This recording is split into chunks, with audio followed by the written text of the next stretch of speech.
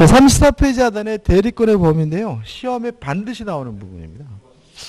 일단 1번 법정 대리권이 뭘 할 수 있는지는 법률 규정에 의해서 결정되는데 시험 범위가 아니니까 신경 쓸 필요가 없고 2번 임의 대리권의 범위에서 어, 맨 밑에 보시면 수권행위의 해석에 따라서 결정되죠. 그러니까 쉽게 말하면 임의 대리는 땅 사라 그랬으면 땅 살 수 있고 저당권 설정했으면 저당권을 설정할 수 있고 이런 얘기인 거거든요. 근데 여기서 좀 정리할 게 있어요. 교재는 없는데 중요한데 자 일단 음, 뭘 정리하시냐면 매도에 관한 수권이 존재할 때 땅 팔라 그랬을 때 임의 대리인이 뭐 할 수 있느냐 이걸 꼭 정리하셔야 돼요. 자 가능한 거 매매 계약 체결할 수 있겠죠? 땅 팔라 그랬으니까 또 매매 대금을 수령할 수도 있습니다. 그 다음에 대금 지급 기한도 연기해 줄 수가 있어요. 아, 왜냐하면 이미 대리는 스스로 대리는 뭐 하는 사람 의사를 결정하는 사람이잖아요. 따라서 본인이 판단했을 때 연기해 주는 것이 본인에게 이득이 된다면 스스로 결정해서 대금 지급 기한을 뭐 할 수 있어요? 연기해 줄 수도 있는 거죠. 근데 못하는 게 뭐냐 그러면 불가능한 거. 첫째, 기한은 연기할 수 있지만 대금은 일부든 전부든 면제해 줄 수는 없는 거예요. 왜냐하면 대금을 면제하는 것은 항상 본인에게 이득이 될 수가 없으니까 이건 안 되고 그 다음에 임의 대리인은 매도에 관한 수권이 있더라도 취소할 수 없고 해지할 수 없어요. 이게 중요한데 자 왜 그러냐면 임의 대리는 시킨 일 하면 대리권이 소멸되기 때문에 그런 거예요.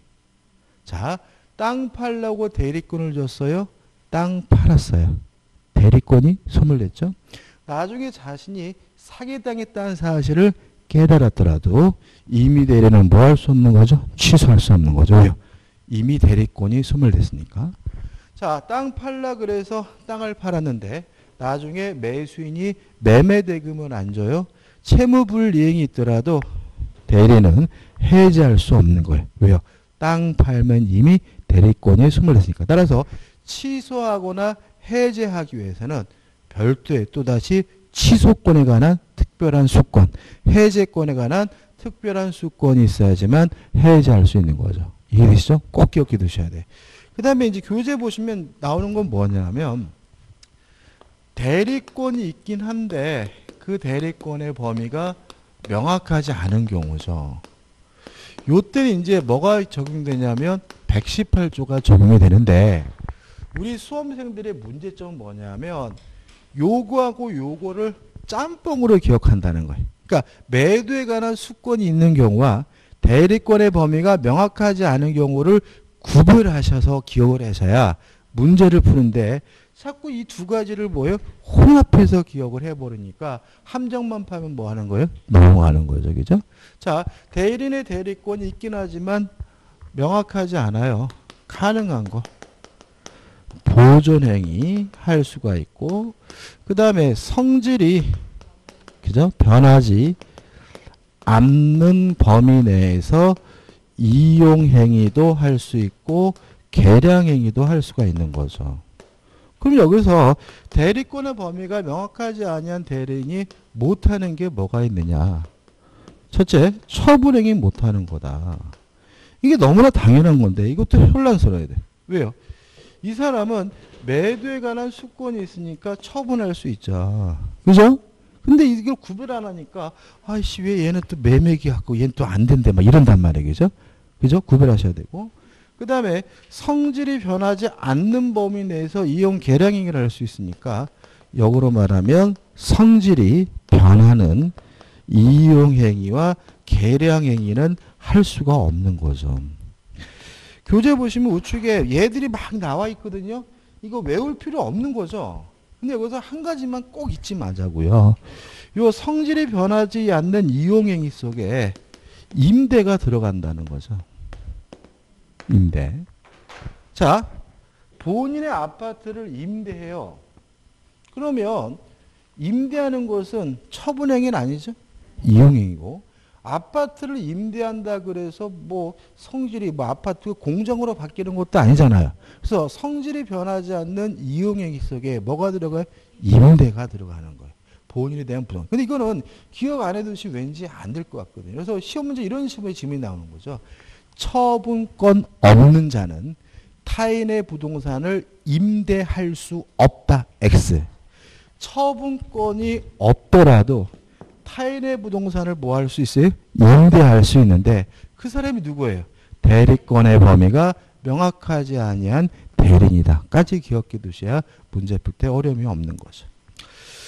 그 다음에 우측 하단에 보시면 이제 뭐가 나옵니까? 대리권 제한이 나오죠. 자, 정, 정리해 보죠. 일단 정리를 하고 한번 보자고요. 자, 일단 자기 계약 쌍방 대리는 원칙적으로 금지가 됩니다. 따라서 하면 안 돼요. 근데 했어요. 위반하게 되면 원칙적으로 무효가 아니라 뭐가 되냐면 무권대리. 그래서 과거에 자기계약 쌍방대리를 하면 무효다 이런 지문도 틀린 지문으로 참 많이 나왔어요. 무효인 것이 아니라 뭐가 되는 거예요? 무권대리. 다만 예외가 있어요. 법원에 하는 입찰 대리를 쌍방 대리를 하면 요거는 무효라는 것이 우리 판례 입장이에요. 그러니까 원칙은 무효가 아니라 뭐예요? 무권 대리인데 입찰 대리를 뭐 하면요? 쌍방 대리를 하면 얘는 예외적으로 아예 뭐가 돼요? 무효다. 이게 판례 입장이라는 거 기억해 두시면 되고 다만 예외적으로 자기계약 쌍방 대리가 허용되는 경우가 있어요. 첫째, 본인의 승낙, 본인의 허락이 있다면 자기계약 쌍방 대리가 뭐 하는 거죠? 가능한 거죠. 그 다음에 두 번째, 본인에게 이익만을 주는 행위입니다. 본인에게 주, 이익만을 주는 행위도 자기 계약이 가능하거든요. 그러니까 자기 계약 쌍방대를 금지시키는 얘기는 본인을 보호하기 위한 거건데 그러면 본인에게 이익만을 주는 행위가 뭐가 있냐면 대리인의 재산을 본인에게 증여하는 경우죠. 이거는 본인에게 항상 뭐가 돼요? 이익이 되니까 자기 계약이 가능해요. 근데 참고로 이게 흔해 흔하지 않아요. 아주 흔하다는 거죠. 아버지가 아들한테 뭐요? 용돈 주는 거잖아요. 대리인이 뭐라고요? 친권자. 그죠? 아버지가 혼자 이번 달 용돈은 10만 원이다.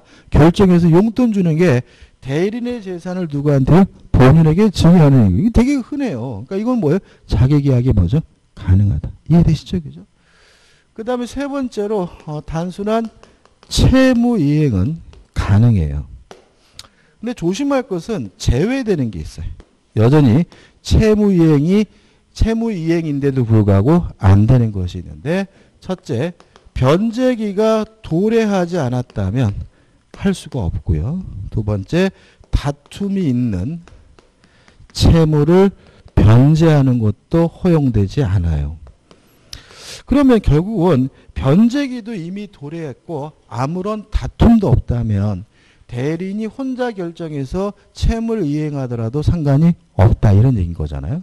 자 그럼 여기서 이제 곱씹음이 필요한 거예요. 곱씹음이. 여기서 문제가 그냥 채무 이행 가능하다 이렇게 읽어가지 않아요. 곱씹음을 요구합니다. 자 한번 생각해 보세요. 갑이 대리인이고요. 을이 아 죄송합니다. 갑이 본인이죠. 갑이 본인이고 을이 대리인인데 을이 갑에 대해서 채권이 있는 상태고 갑이 을에게 채무가 있는 상태예요. 자, 이 채권이 변제기도 이미 도래했고 다툼도 없는 상태라면 을은 갑의 재산으로부터 뭘 받을 수 있어요? 변제받는 게 가능해요. 왜냐하면 채무이행은 자기 계약이 가능하니까요. 이해되시죠? 자, 그뿐만 아니라 어, 병이 채권자예요. 갑이 뭐죠? 채무자. 변제기도 도래했고 아무런 다툼도 없다면 을이 갑의 재산에서 을 병의 채무를 뭐 할 수 있어요? 변제할 수가 있어요. 왜냐하면 채무이행은 쌍방대리가 뭐예요? 가능하니까요. 이해되시죠? 자, 이거를 곱씹지 않으면 이게 말로 나오면은 뭔지도 모르고요. 왠지 안 될 것 같아서 틀리니까 조심하셔야 되겠죠? 그 다음에 계약의 종류를 바꿔서 이행하는 경계도 채무 이행이지만 여전히 금지가 되고요. 돈 대신 물건으로 갚는 대물 변제도 채무이행이긴 하지만 여전히 뭐예요? 금지가 돼요. 이렇게 기억하면 되거든요. 그래서 교재 보시면은 원칙 할 수 없다. 예외해 가지고 1번 본인이 허락하면 할 수 있고 2번 채무 이행은 허용되지만 넘겨오시면 복잡하게 나와 있죠. 기억 기한이 도래하지 않았으면 할 수 없다. 미음번 다툼이 있는 채무는 변제할 수 없다. 디귿번 돈 대신 물건으로 변제하는 거 허용되지 않는다. 또 선택 채권 채무도 할 수가 없다. 미음번은 항변권이 부착된 채무이행은 이거는 대리인이 뿐만 아니라 아무도 못하는 거예요. 그죠? 그러니까 다시 말하면 대리인이라고 무조건 못하는 게 아니죠. 그 다음에 경계 못한다는 거죠. 그 다음에 3번 의미였고 4번 무효가 아니라 뭐요? 무권대리다. 다만 주의하실 것은 어, 법원에서 이루어지는 입찰 대리만은 뭐가 돼요? 무효가 된다는 게 판례 입증. 물론 시험에 나왔고요. 그 다음 5번 해가지고 921조에 특칙해가지고 1번이 나와 있는데 1번은 의미 없습니다. 이거는 친족상속법 내용이고 그 다음에 2번은 기억해 두셔야죠. 왜요? 대리인에게 이익만이 되는 행위는 뭐죠? 자기계약이 가능하다 이런 얘기죠. 그 다음에 공동대리죠. 자 여기서 이제 공동대리까지 하면 이제 한 문제가 끝나는 거죠. 여기서 이게 보통 이제 한 문제가 나오는데 자 대리인이 수인 여러 명이에요. 음, 원칙이 뭐죠? 각자 대리다. 원칙이 각자 대리라는 거 참 잘 나옵니다. 다만 대리인이 여러 명이고 수권행위나 민법의 규정에 따라서 공동으로 하라는 특별한 제한이 있으면 그때 비로소 뭐가 되는 거죠? 공동 대리가 되는 거죠. 따라서 각자 대리가 원칙이지만 공동으로 하라는 제한이 있어야 공동 대리가 되는 거죠. 그러면 공동 대리는 공동으로 해야 돼요. 뭘 공동으로 하는 거죠? 의사 결정만이죠. 자, 대리는 타인을 위하여 뭐 하는 사람이죠? 의사를 결정하는 사람이니까 공동을 하는 것은 같이 팔짱 끼고 다니라는 얘기가 아니라 뭐만 함께 하라는 얘기예요? 의사 결정만 공동으로 하는 얘기죠. 따라서 수동 대리는 공동으로 할 필요가 없는 것이죠. 수동 대리는 대리인이 뭐 하지 않습니까? 의사 결정하지 않죠. 누가요? 상대방이 의사 결정하고 상대방이 하는 것을 뭐죠? 받는 거니까 수동 대리는 굳이 뭐 할 필요 없어요? 공동을 할 필요가 없어요. 뭐만 공동을 하면 돼요? 의사결정만. 의사결정만. 그죠? 자, 그럼 여기서 또 하나 기억해요. 그러면 공동대리 가장 대표인 얘가 뭐죠? 친권자다. 끝인 거죠. 자, 어머니도 친권자, 아버지도 친권자예요. 그죠? 그러면 예를 들어서 아이를 학교에 보내는데 올해 보낼까 내년에 보낼까 고민이에요.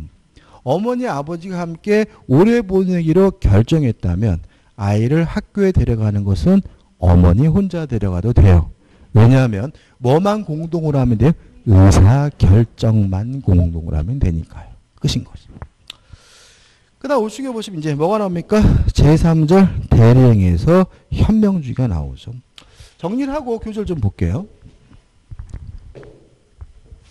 너무 구속에 가서 적으니까 이쪽을 좀 지우고 있으면 하죠. 자, 이런 얘기입니다. 갑이 본인이고요. 을이 대리인이에요. 자, 갑이 을에게 뭐라느냐면 네가 내 대신 제주도 가서 땅 좀 사라고 대리권을 줬어요.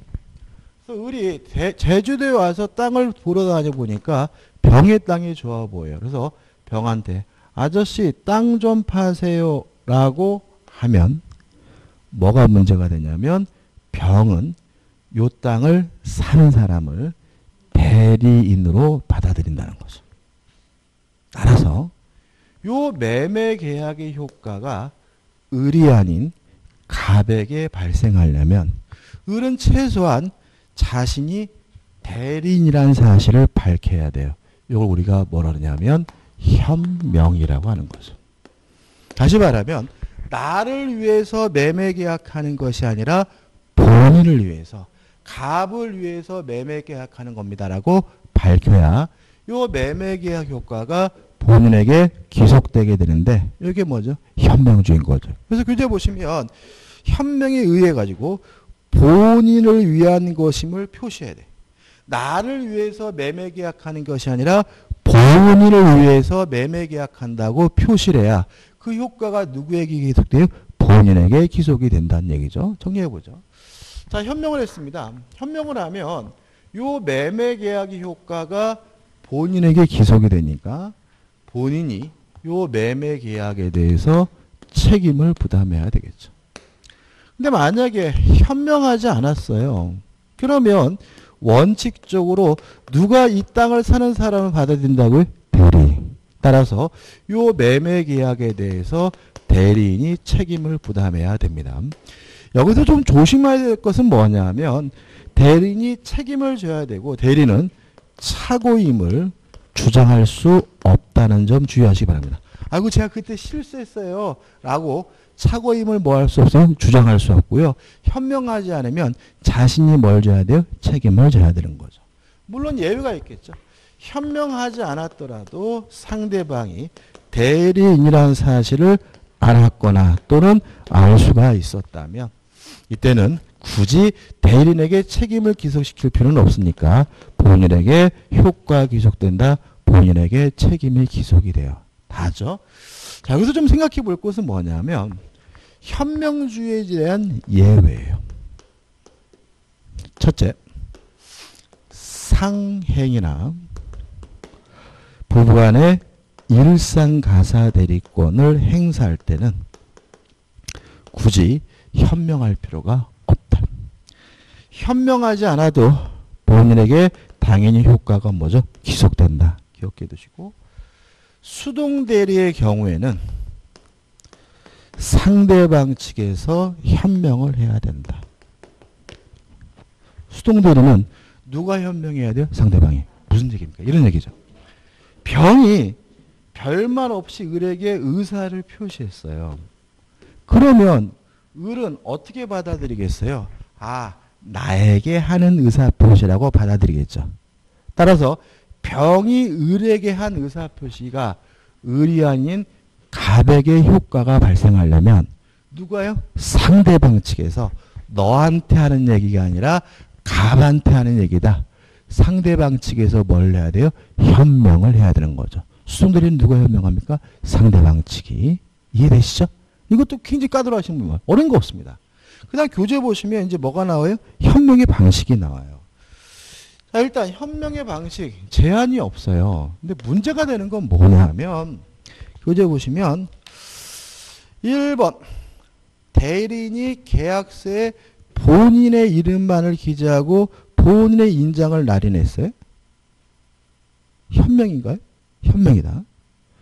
2번 대리인이 계약서에 자기 이름만을 기재하고 자기 인장을 날인했어요. 이것도 뭐예요? 현명이죠.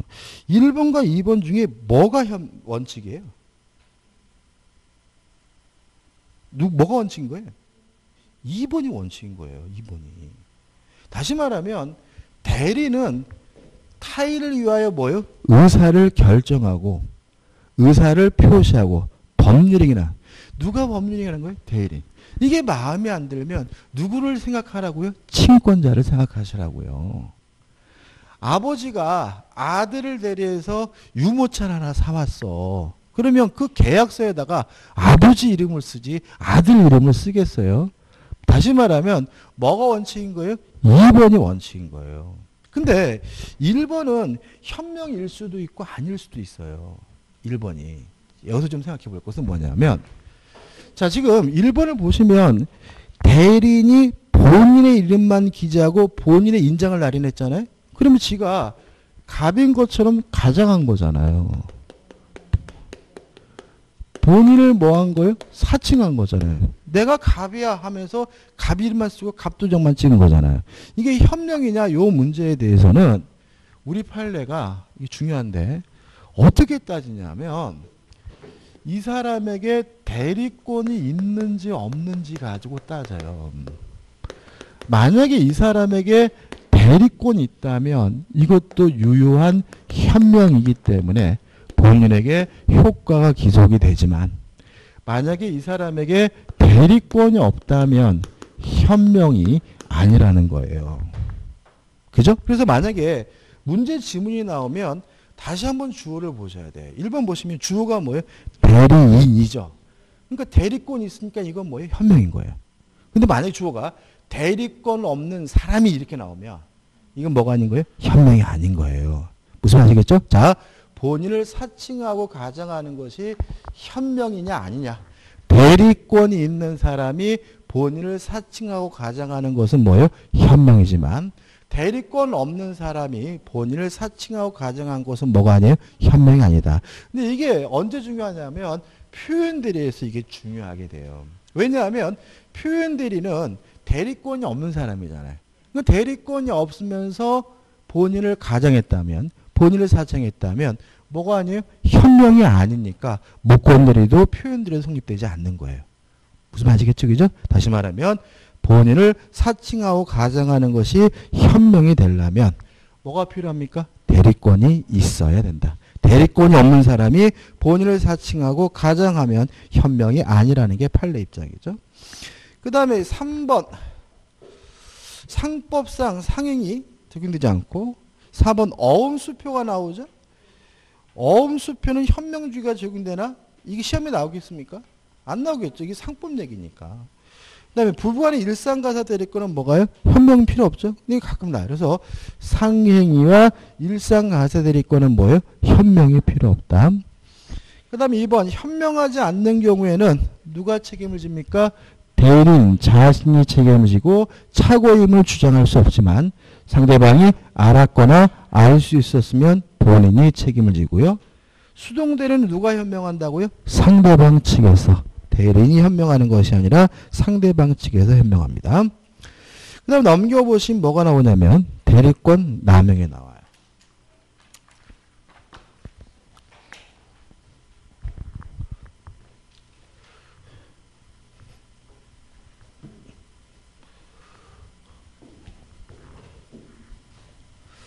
잠시만 보세요. 이것도 조, 개념을 잘 잡아셔야 돼요.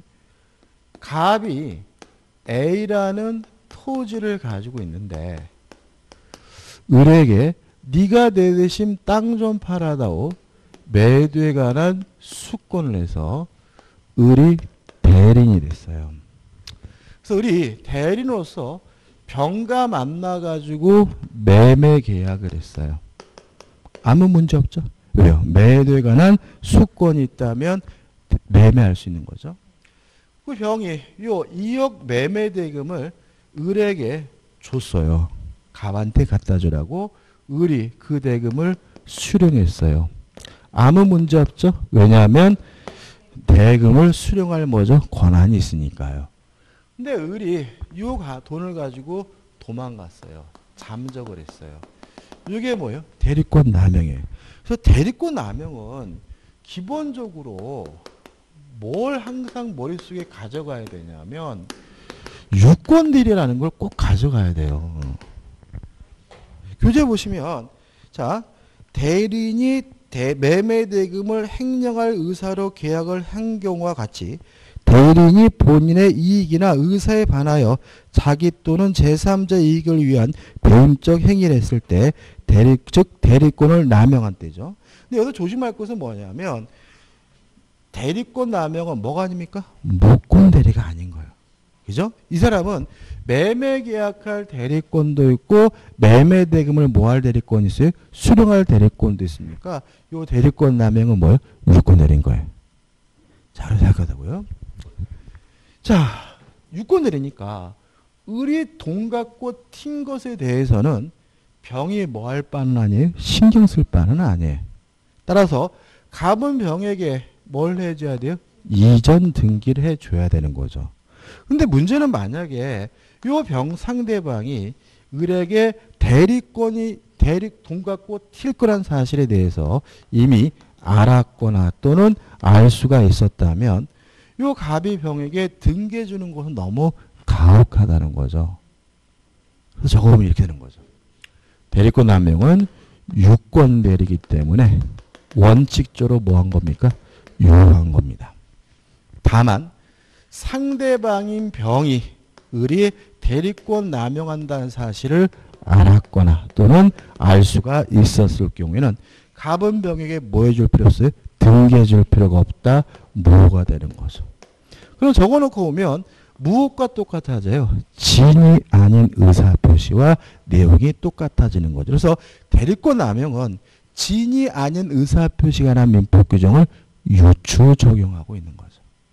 이해되시죠? 항상 뭐부터 시작하라고요? 유권 대리부터. 이게 엉뚱하게 대리권도 없는 사람으로 오해하셔가지고 이상하게 가게 되면 또 함정을 파면 뭐 틀리게 되고요. 한 가지 추가할 것은 최근 판례에서 어, 요 무효를 가지고 누구한테 대항할 수 없냐면 선의의 제3자에게 대항할 수 없다라고까지 판시하고 있습니다. 어, 교재 다시 말씀드리면 음, 대리 대리권 남용 뭐죠? 무권들이가 아니라 유권들이다. 따라서 원칙적으로 유효지만 상대방이 알았거나 알 수 있었으면 뭐가 돼요? 무효다. 왜냐하면 대리권 남용에 대해서는 진이 아닌 의사표시가 난 의사표시 뭐죠? 적용을 하기 때문인 거죠. 그 다음에 음 2번에서 보시면 이, 그 박스 밑에 1번 적극 가담한 103조 이건 뭐예요? 이건 가입표입니다. 이거 왜 이런 얘기를 써놨는지 모르겠어요. 이게 상관없는 거고. 그 다음에 2번을 보시면 대리 의사를 표시하지 않냐고 단지 본인의 성명을 모용하여 자기가 마치 본인 것처럼 기망하여 본인 명의로 직접 법률행위를 한 경우잖아요. 지금 이 상태에서는 이거를 판단할 수가 없어요. 요 이 다음에 뭐가 들어가야 되냐면 대리권 없는 자가 이 말이 들어가야 돼요. 2번 앞에. 그러면 이거 이게 뭐예요? 이거예요. 대리권 없는 사람이 본인을 사칭하고 가장하면 뭐가 아니에요? 현명이 아니다. 이게 여기 나와 있네. 그죠? 자, 지금 이 사람이 본인을 사칭하고 가장한 것이 현명이 아닌 이유는 이 사람에게 뭐가 없기 때문에 대리권이 없기 때문이죠. 그래서 대리권 없는 사람이 본인을 사칭하고 가장하면 뭐가 아니에요? 현명이 아니고 따라서 현명이 아니기 때문에 표현들이 성립될 수는 없는 거죠. 그 다음 3번 대리행의 뭐죠? 하자입니다. 이것도 참 보면은 별거 아닌데 참 잘 틀려요. 자 보세요. 개념입니다. 자 대리는 뭐 하는 사람이냐면 스스로 의사를 결정하고요. 결정하는 의사를 표시함으로써 타인을 위하여 뭐 하는 사람이죠? 법률 행위라는 사람이다.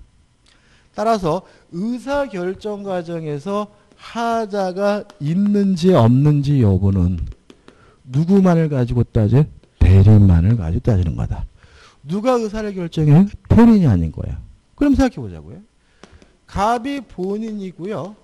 을이 대리인인데 을이 병과 만나가지고 매매 계약했거든요. 근데 나중에 병이 갑에게 사기쳤다는 사실이 밝혀졌어요.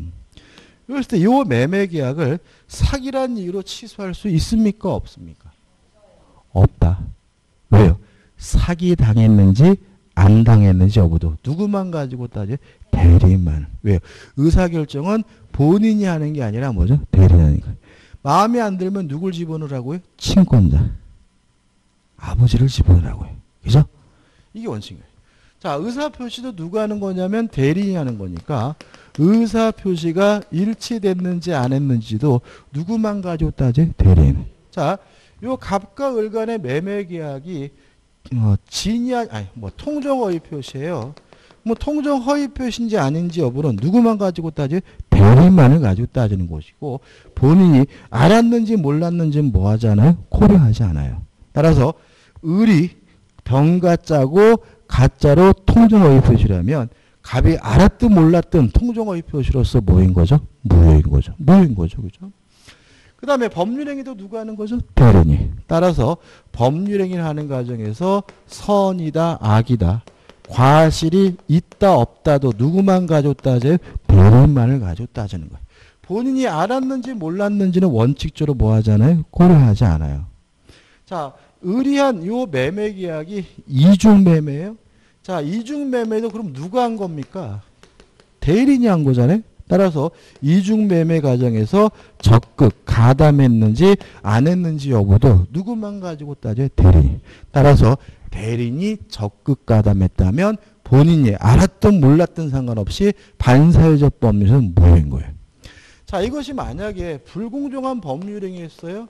그럼 불공정한 법률행위에서 경솔했는지 경험이 없는지는 누구만 가지고 따져요? 대리인. 그럼 여기서 우리가 본인을 기준으로 하는 것이 하나밖에 없다는 걸 알 수가 있어요. 뭐예요? 궁박이죠. 원래 하나 더 있는데 그것까지 기억해 보세요.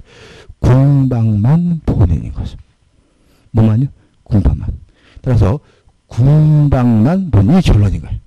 누구 다른 거는 뭐죠? 누구만 가지고 따지? 대리인만을 가지고 따져. 이렇게 되는 이유는 의사를 누가 결정했기 때문에 대리인이 결정했기 때문에 여기 원칙이에요. 솔직히 원칙이 중요하고 예외가 중요하진 않아요. 근데 교재 예외가 아니고 예외 설명드릴 건데 교재 보시면 양가를 2번 해가지고 뭐가 나오냐면 예외가 나와요. 그죠? 한번 생각해 보자고요. 자, 원칙부터 생각해 볼게요. 자, 물건에 하자가 있다는 이유로 담보 책임을 물으려면 매수인은 선이고 무과실이어야 돼요. 기억해 두자고요. 자, 갑이 본인인데요. 우리 갑을 대리해서 병가 만나가지고 자전거에 대해서 매매 계약을 했는데 이 자전거가 브레이크가 안 되는 고장난 자전거였어요. 근데 을 대리는 고장난 것에 대해서 선이고 무과실이지만 갑은 악이었어요. 이랬을 때 갑은 병에게 담보 책임을 물을 수 있습니까? 없습니까? 있어요? 없어요? 있다. 왜냐하면 누구만 가지고 따지? 대리인만 가지고 따지니까. 마음에 안 들면 누굴 집어넣으라고요? 아버지를 집어넣으세요. 아버지. 그죠? 다시 말하면 아빠 아들이 와가지고 병거 자전거 좀 사줘. 지는 고장난 건지 뻔히 알면서도 그래서 우리 선의 무과실 병과 뭘 매매 계약했다면 갑이 악이더라도 음, 우리는 갑은 병에게 뭘 물을 수 있어요? 담보 책임을 물을 수가 있는 거예요. 왜요? 선, 악, 과실 있는지 없는지는 누구만 가지고 따져? 대리만을 가지고 따지니까. 이게 원칙인 거예요. 근데 예외가 있어요. 갑이 의사결정 과정에 참여를 했어요. 원래는 누구만 의사결정하는 거예요? 대리인만. 근데 본인이 의사결정 과정에 참여를 했다면 이제 누구 것도 고려해야 돼요? 그럼 이제는 얘네들은 뭐가 돼요? 악이기 때문에 갑은 병에게 담보 책임 물을 수가 없는 거예요. 그럼 교재 보시면 자 양가로 2번입니다. 특정한 법률행위를 위임한 경우에 대리인이 뭐라고요? 본인의 지시에 따라 그 행위를 했어요. 본인이 지시했다는 말은 본인이 의사결정 과정에 뭐 했다는 얘기예요? 참여했다는 얘기예요. 따라서 누구 것도 고려해야 돼? 본인 것도 고려해야 되니까 본인의 지시에 따라 그 행위를 한 때에는 본인은 자기가 아는 사정 또는 과실로 인하여 알지 못한 사정에 관하여 대리인의 부지, 선의를 뭐하지 못해요? 주장하지 못한다죠. 자, 이거 이거죠. 그죠? 이해되시죠? 그죠? 근데 만약에 이 양거리 2번 때문에 1번이 헷갈린다면 양거리 2번은 버리시는 겁니다. 이게 뭐냐면은 이게 양거리 2번이 상식 같거든. 본인이 막 지시했을 것 같거든. 그죠? 그러니까 이게 뭐예요? 원칙이 더 중요한 거야. 여기 원칙이. 그래서 우리는 공박만 본인, 공박을 제외한 나머지 모든 것들은 누구만 가지고 따집니까? 대리인을 가지고 따지는 거죠. 4번 대리인의 능력 아까 했죠? 스스로 의사를 결정하는 사람이니까 의사 능력이 필요한데 다만 우리 민법 117조가 행위 능력자일 필요는 없다라고 해서 제한 능력자도 뭐가 될 수 있어요? 대리인이 될 수가 있고요. 우측의 대리 효과는 본인에게 뭐죠? 직접 귀속된다. 보신 것이고 그 다음에 이제 뭐가 나오죠? 복 대리가 나오죠. 쉬었다 할까요? 더- 아, 쉬었다가 보죠, 그죠? 쉬었다가 복 대리부터 보도록 하겠습니다.